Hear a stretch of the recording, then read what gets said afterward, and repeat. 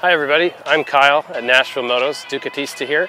Um, today we're going to be talking about the uh, 2023 Ducati Desert X in the uh, Audi RSQ e-tron livery that they had in the Paris-Dakar race the last couple years. Um, really, really cool paint job, uh, get the red seat, um, some cool red accents and, and uh, decals, and this is all just amazing. Looks really, really good. Um, some things to note about these bikes, if you haven't uh, watched any reviews yet, um, fantastic machine off-road. Fully adjustable suspension, front and back, preload, compression, rebound, whole nine yards. Um, really a top quality product for anybody that's um, either curious about riding off-road, it's very confidence inspiring, and then anybody that's a purist, like really wants to be able to um, go hard on an adventure bike off-road. Uh, we've got KYBs front and back.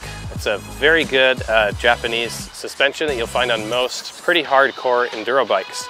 Um, I think there's about 230 millimeters of travel in the front, 220 on the back, and overall the whole thing with a full tank of gas weighs just under 500 pounds. I think it's about 491 pounds. Very lightweight, um, not a whole lot to it.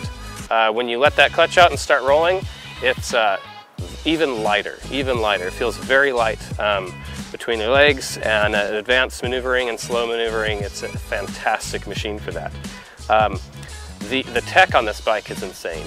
Uh, the wheelie control, the skid control, ABS, everything's just super, super advanced. My personal favorite for technical off-road riding is the uh, ability to control the engine braking. So when you let off the throttle, you can choose if you want a lot of engine braking or if you want almost none at all and just coast. Um, that's a great feature for trials riders, especially if you come from like two-stroke world where you're not used to a lot of engine braking. Um, that's a cool feature. Even if you're not into off-road riding, this bike is fantastic. Um, cuts through the wind quite nicely. You can get a taller windscreen if you just want to have the look and tour on the road all the time with it. Great bike for that. Um, you can get bigger tanks, auxiliary tanks in the back, and I think that increases your fuel load to almost eight gallons. Um, there's luggage options available. Um, like I said, taller windscreen. There's all sorts of ways to use this motorcycle.